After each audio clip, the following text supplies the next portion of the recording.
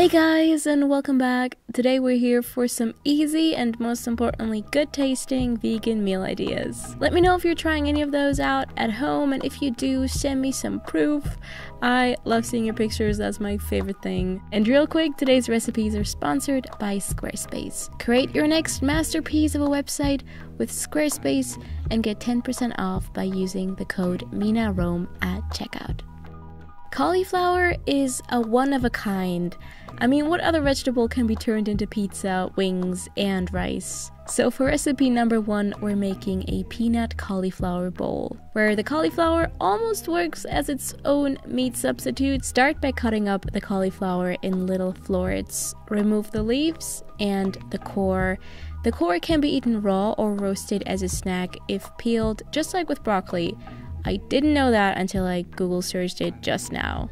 Preheat the oven to 190 degrees Celsius. Line a baking sheet with parchment paper. Add a little bit of oil plus spices such as cumin, paprika, and salt, or whatever else you want to add.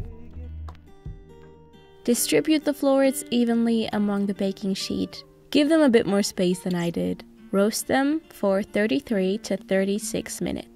You can move them around a bit at around halftime. Meanwhile, we're cooking our starch. I went the extremely lazy route and chose couscous. I added a tiny bit of um, vegetable broth powder, plus, I poured in double the amount of boiling hot water. That is how you can get the best consistency for couscous. Let it sit and soak up all the water for 6 to 10 minutes while you make your sauce. Chop up an onion, some fresh ginger, and some garlic.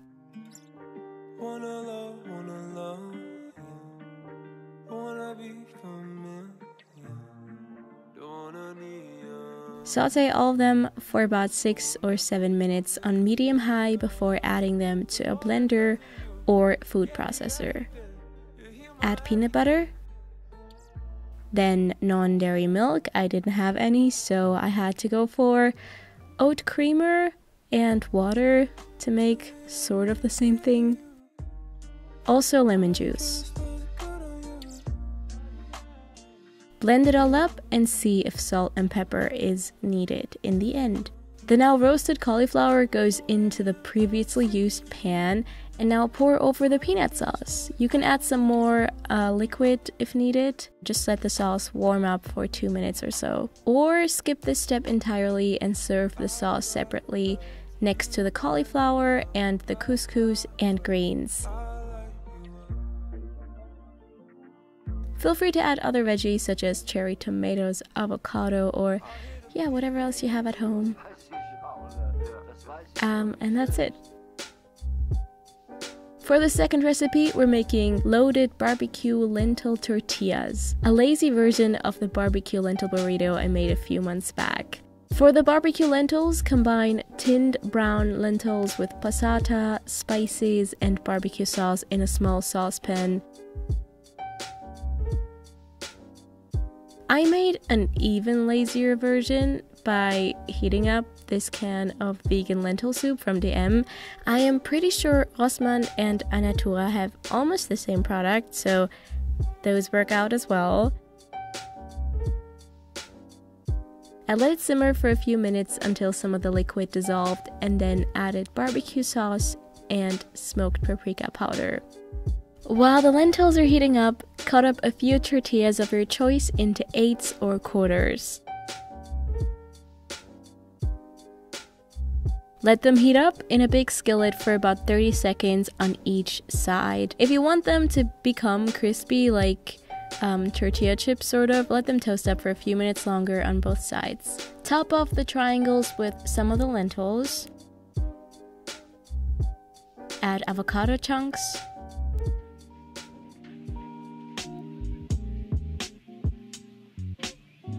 A few pieces of thinly cut pepper for aesthetic, because green and red go well together, you know.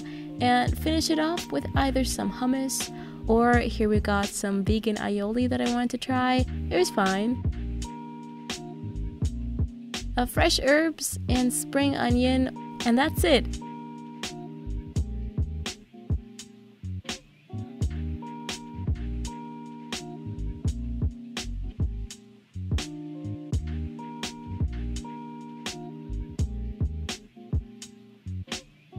For this third idea, we're going to be quick pickling some onions. I don't know why it took me this long to start doing that. Pickled onions are wonderful and they can be used as a topping for pretty much anything. For example, to top off a basic roasted sweet potato, add chopped red onions or shallots to a glass jar.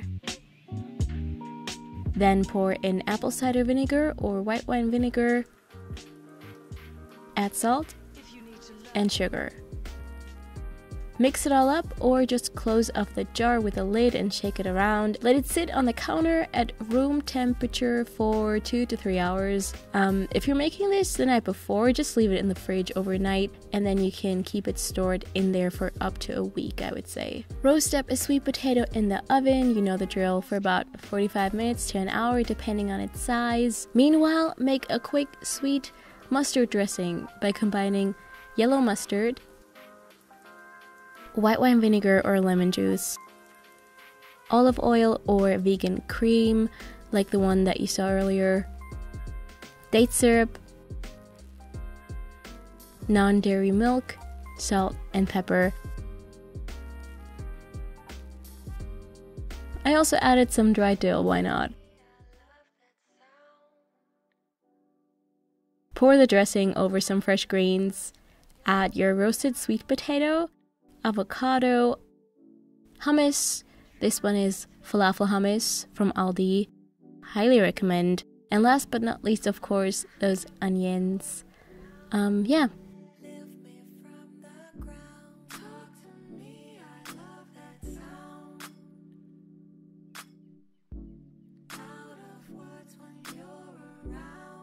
For last and final recipe of the day, we are making sunflower seed pesto rice noodles with tofu cashew cream cheese. What a title! um, for this cheese, in quotation marks, first boil up some cashews in a little pot for 30 to 45 minutes. Add those to a high speed blender or food processor. Next step, add plain, firm tofu. I wonder if silken works as well. If any of you try that, let me know how it goes. Lemon juice, white wine vinegar, salt, and pepper. Blend it up until smooth. Uh, for me, this whole process took about six minutes, so it was more like pulsing the blender, scraping down the sides, and then pulsing again. Cut the cherry tomatoes in half.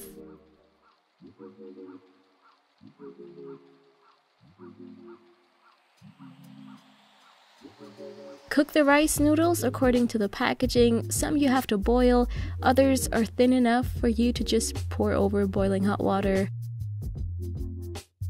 Set those aside and quickly toast up your sunflower seeds for 3 to 4 minutes on medium heat in a big pot or skillet without oil. Add those to a food processor or blender if you can't find your food processor. Add fresh basil, like an entire little pot of basil leaves, fresh spinach, lemon juice, one small clove of garlic, non dairy milk, or oat creamer, olive oil, sweetener of choice, salt, and pepper. Blend up the pesto until it reaches your desired state of consistency. Now combine the noodles and the pesto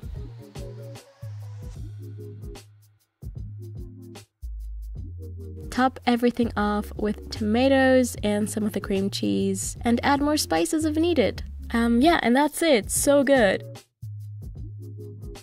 All the food you've just watched was brought to you by Squarespace. Everyone needs a website nowadays. If you're a student, for example, looking to present your artwork in a really cool and unique way, an aspiring food blogger, a new donut shop owner, Squarespace is here to help you create neat and professional looking websites, and there's no experience in website building required. They have an award winning 24 7 customer service. You never feel alone during this process, and they do respond right away, which helped me so much last year when making my own website. You can even get your own domain. Give it a try today and check out squarespace.com slash Mina Rome to save some money and support my channel while doing so. Thank you so much for being here. I'll see you soon. Bye.